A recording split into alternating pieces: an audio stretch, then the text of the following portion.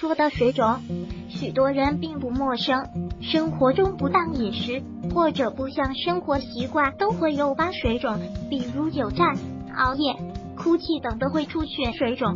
这些水肿通常出现在健康人群中，休息片刻即可缓解。如果身体出现不明原因浮肿、水肿，就要引起重视了，可能是某些疾病的信号。下面就来了解一下水肿应该怎么办。三、平时烹饪加入过多盐，口味较重的人也容易水肿，常常感觉口渴。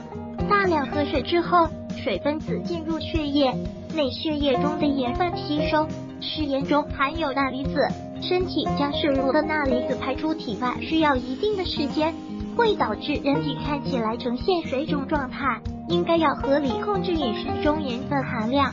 进食清淡食物，能够有效缓解水肿症状。四、长时间站立的人会出现水肿，例如服务员、前台服务等工作的人，容易因为静脉曲张导致腿部出现不同程度的水肿。经常在办公室工作、久坐不动的人也会引起水肿。建议从事这类工作的人，在工作间隙或者休息时，可以抬高双腿，让下肢血液回流。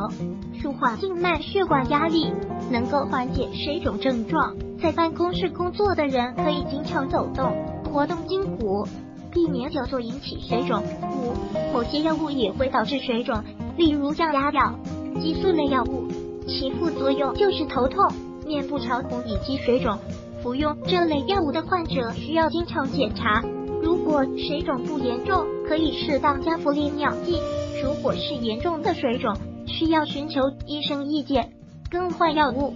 如果喜欢本视频，请分享并订阅本频道。